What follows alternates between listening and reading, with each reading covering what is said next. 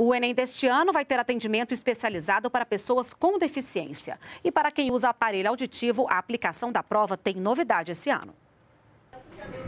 Há quatro anos, um acidente doméstico deixou Fernando, de 31 anos, cego. Ainda está em processo de readaptação à nova realidade. Este ano, ele se inscreveu no Exame Nacional do Ensino Médio, o Enem, e pediu atendimento especializado. Uma pessoa vai ler toda a prova para mim, às vezes quando preciso que ela repita o enunciado da questão, então as alternativas ela vai repetir, e outra pessoa vai transcrevendo as minhas respostas e depois passa para o caderno de respostas. Minha expectativa é que eu passe. O Enem 2019, que será realizado nos dois primeiros domingos de novembro, nos dias 3 e 10, tem mais de 5 milhões de participantes confirmados. Deste total, mais de 50 mil candidatos solicitaram algum atendimento especializado, assim como o Fernando. O Instituto Nacional de Estudos e Pesquisas Educacionais, Anísio Teixeira, INEP, oferece 15 diferentes recursos para que as pessoas com deficiência deficiência realizem as provas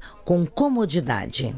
A novidade na edição deste ano é que candidatos com deficiência auditiva puderam indicar no ato da inscrição o uso de algum tipo de aparelho ou implante. Assim, vão receber um tratamento especial sem que o aparelho seja confundido com ponto eletrônico. Nós temos também a prova em vídeo libras, ou seja, qualquer pessoa que tenha necessidade e queira fazer a prova em vídeo libras, já no momento da inscrição seleciona e tendo laudo, né, que, que tem essa necessidade, o INEP fornece sem problema a prova em vídeo libras, por exemplo. Né?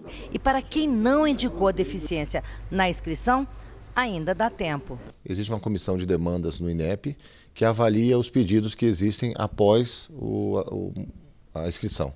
Então, podem ser deferidos novos pedidos.